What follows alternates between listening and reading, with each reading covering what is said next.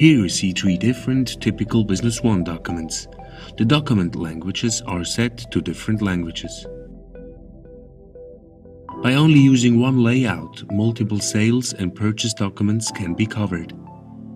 The layout is also taking care of the languages of the document by using a global text table which already contains translations in more than six languages. This saves a lot of time and you can start using your SAP system even faster. Define your own layout sequences. For example, print also item labels together with a sales order. The copy column enables to control if and how many times the layout should be used. Printing with CoreSuite Designer is very fast.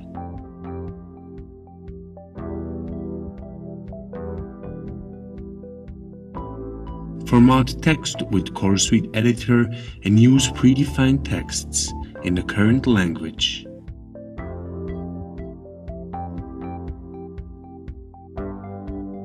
You can control the which printer and trace the different copies and pages should go.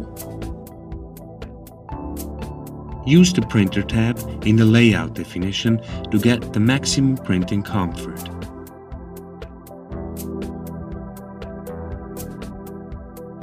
Now to see a result, we will also select the choose option which can be used to change the printer after he got determinated.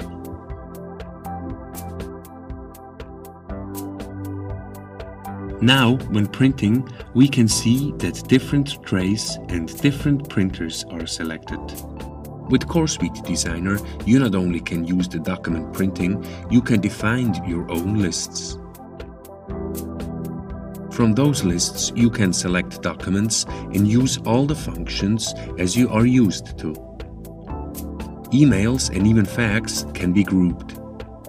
This means that you can create emails with multiple attachments.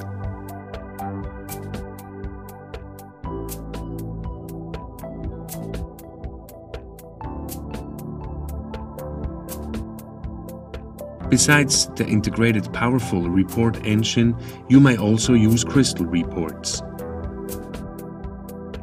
By adding also the standard Crystal report document, to the sales order sequence, we can use both layouts side by side. This enables you to use advanced CoreSuite Designer features together with Crystal.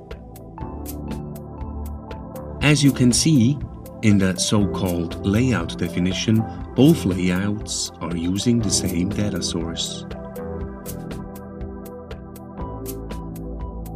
With the cockpit feature, you can put now all layouts of type Xcelsius directly into the Business One cockpit.